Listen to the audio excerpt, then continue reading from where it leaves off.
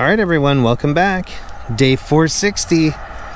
And look at that, guys. We get some rain moving through.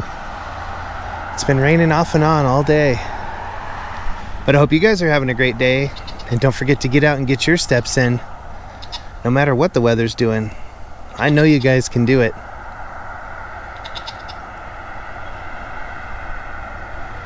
Look how gorgeous that is. Look those colors. I hope you guys enjoy the uh, time lapse that I set up this morning. And I'll see you guys tomorrow and we'll do it again.